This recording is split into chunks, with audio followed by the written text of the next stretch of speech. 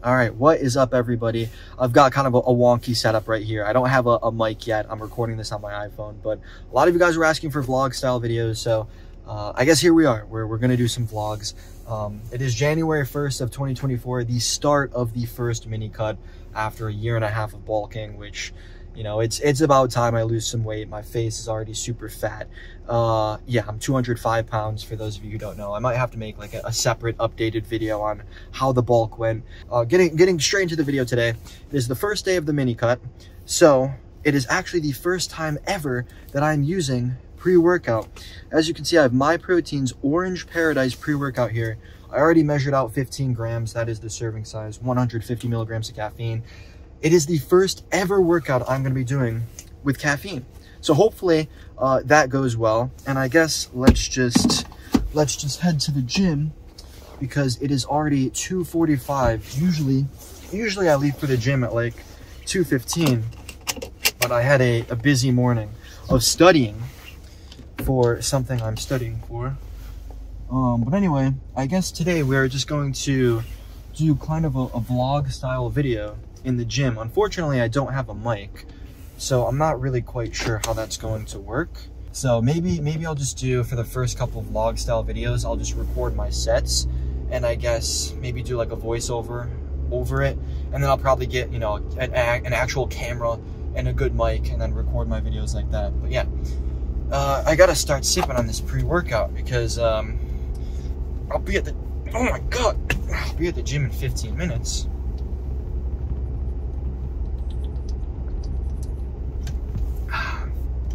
Good. It's not bad. It's not a bad flavor for sure. It's orange paradise, as I did say. Um, yeah, I mean, it doesn't taste like, I mean, it tastes exactly like, like I expected, just like sort of an orangey drink. I mean, I, I, I didn't really have any extreme expectations there, but yeah, honestly, I've got a, a 15 minute ride to the gym. I don't know how long this, this intro section is going to be. Probably, I don't know, a few more minutes, if that, and then uh, I'll get to my sets. Probably only record my maybe for the first workout, I'll record like uh, my actual warm up routine, which is just uh, some dynamic stretching with a resistance band and some some arm swings and stuff. Today's a push day, by the way. I didn't even explain that. Uh, it is a push workout. That is the start of the the training cycle. We got a push day, then uh, legs tomorrow, then pull and rest. That is my routine: push, legs, pull, rest, uh, repeat yeah, this camera angle is absolutely terrible now that I look at it. I'm peak bulk, fellas, so we're not going to be looking our best right now. By the end of January, uh, hopefully that is when things start getting crazy. But yeah, I'm going to finish this pre-worky, uh, head to the gym, probably show you guys uh, what I do, and uh, yeah, I guess enjoy the vlog style content. Alright, there we go. Alright, so welcome to the voiceover section of this video. Uh, quick apologies for the Jabba the Hutt angle on that first section of the video. Absolutely terrible. I'm definitely going to need to invest in some sort of car stand or car mount, well, a phone mount for the car, uh, because I was using kind of a, uh, it was, it's kind of hard to explain, but I just, I set my phone on, it was a car mount essentially, but it was a terrible one that kind of hooks into the fan, and so the angle is like upwards, and it, it just made me look even fatter than I am. So apologies for that. It was it was pretty hard to edit looking at myself like that. But anyway, um, just wanted to show you guys a quick uh, quick warm up routine that I do. Pretty much just arm swings. Uh, use a resistance bands for for some stuff. Uh, and yeah, that was that was pretty much it. Probably. Uh, what, what is it? Maybe 15 reps each, 15 to 20 reps of, of each kind of thing that I showed. It takes maybe five minutes at most. Uh, and yeah, that was it. So uh, anyway, moving on to the first set here. So we did, what was it, three chest exercises, and then two shoulder exercises, and then a tricep. So this was obviously the first set, uh, first working set. I did three warm-ups with one plate, two plates, and then three plates, and then my working set was four plates and 15 pounds.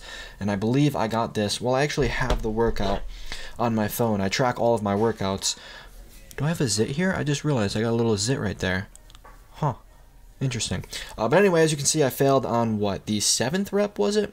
I failed in the middle of the seventh rep. Also, if you are not tracking your workouts, I highly recommend tracking your workouts because it is very essential. Um, so that you know how how to actually progress for your next workout. And you know if you're actually even progressing during this mini cut i'm probably not going to see too much progress. Uh, so i'm not really worried about that just just because my calories are going to be so low anyway.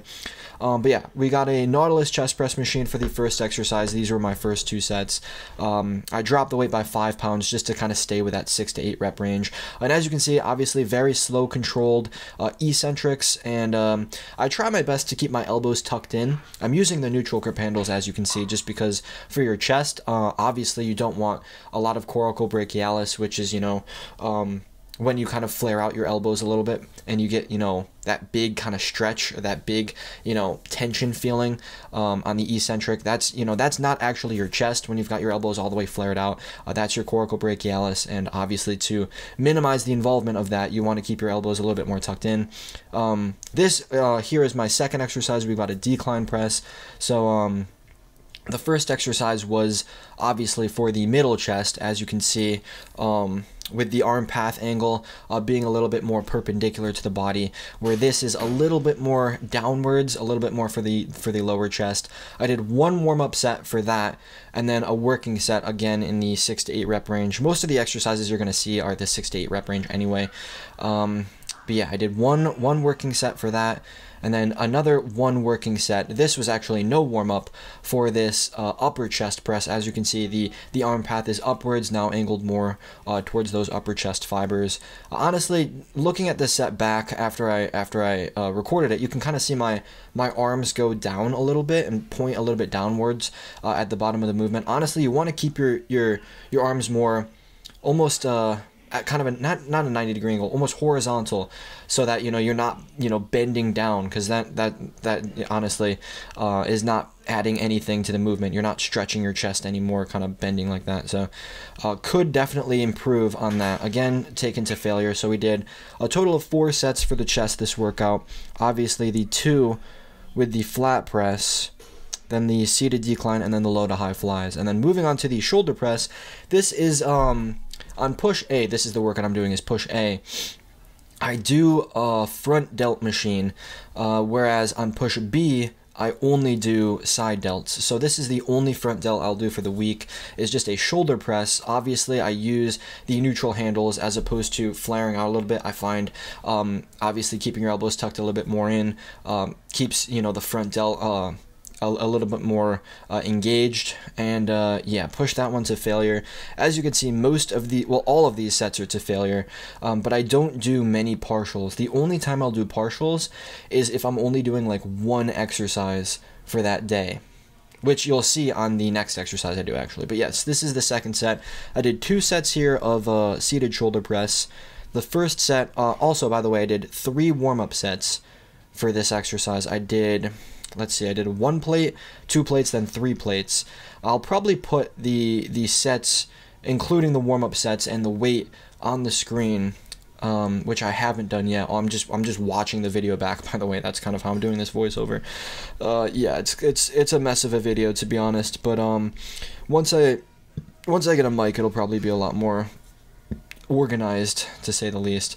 But yes, two sets of shoulder press. Uh, and then we move on to a single lat raise machine. So when you're doing this, um, as opposed to doing both arms at a time, where you're you know standing you know straight on and you're pushing the weight out, um, you know 180 degrees from your body, uh, I like to. Uh, do a single arm one at a time and then take a 45 degree tilt that way you can actually lift in the scapular plane and translate the weight in the scapular plane so if you you know were to do this both arms at a time and you kind of stand backwards, then you know, you're not translating the weight in the scapular plane. You're just lifting the weight up and down. Sure, your arms may be 45 degrees at the top, but you know, you're not actually translating the weight. So that's why when you do it single arm and you tilt your body, you can see, you know, the weight is actually translating 45 degrees. Uh, hopefully that makes sense. It's a little hard to explain without showing it in a video, but um, yeah, those were, I did two sets here for each arm, but it was, the camera angles I got were a little, were a little funky, so I just kind of combined the two sets to show it uh, in one. So that was my set with the right arm. And yes, here is my set with the left arm. So I believe this is the first set. And, and by the way, when you're doing single arm exercises, I highly recommend resting in between each set. So a lot of people, what they do is they go, you know, one one exercise or one set with your right arm, then one set with your left arm, you know, immediately afterwards without taking any rest in between. Um, but just like anything, you know, those sets limit you. So what you know you need to take rest in between you know when you go from your right arm to your left arm even if it's just you know a minute a minute and a half you know just to catch your breath get you know that cns fatigue all dissipated and then you can actually start your set fresh uh, so that's what I did. It probably so four sets total from you know right arm rest, left arm rest, right arm rest, and then uh, left arm again. So it probably took me I don't know 15 minutes for this, um, for just those four sets, two sets each arm, and then um, yeah, then just to finish off the day, I guess let's just let this play out. We, to, to finish off the day, we just got one tricep exercise here, which is the single arm tricep extension. And I believe uh, the, the camera angles I got here were also a little bit funky, so I did the same thing. This was my first set with my right arm, and then I kind of cut the video at some point, and then I show uh, the second set with my right arm, and then I'll, I'll go on to my left arm again. But uh, yeah, just uh, I use actually my, my strap, I kind of plug it in through that loop on the cable, uh, just to so my grip doesn't fail. Because I, I find when you kind of grab that, that ball end of the cable, you know, your hand gets a little slippery. Uh, so that's what I did. Um, that's what I found, you know, works a little bit better to, to make sure that, you know, you're using all your tricep and your grip isn't limiting you. So I did uh, two sets each arm there, and that was my only tricep extension, or my only tricep exercise of the day, simply because, you know, this it's, it's a really heavily focused push day, right? I had a lot of pushing movements, you know, four chest sets, um, four shoulder sets, um, and then yeah that you know your triceps are already pretty toast by that point. So including you know a bunch of tricep exercises at the end of a push day uh, when you've already you know pushed and used your tricep on every single exercise i find it's not necessary. Of course it is necessary to at least include one tricep uh, you know exercise to make sure you're getting that extension and you know your tricep is actually the limiting factor as opposed to something else. Um, but yeah my form got a little sloppy here honestly. Maybe i'll have to lower the weight. I don't usually record my sets a lot so i don't i, I honestly sometimes don't see. Uh, did do some partials there. Again as i said this was my only exercise of the day uh, so i did some partials uh, for the triceps to really toast them out. And then obviously some posing um, in the locker room just to, to show the physique. Um, so I guess let's see what we're looking like here. The chest, honestly, unfortunately, my ch my chest genetics aren't the aren't the best, as you can see. Um, I kind of have, you know, a big gap. But we're peak bulk. We're, what did we weigh in at? I think 204.8 this morning. I think my heaviest uh, was 206. You know, that was probably after like, you know, Christmas Day when I, I feasted at my grandma's house. Um, but yeah, we, we lost a little bit weight, a little bit of weight uh, from that point.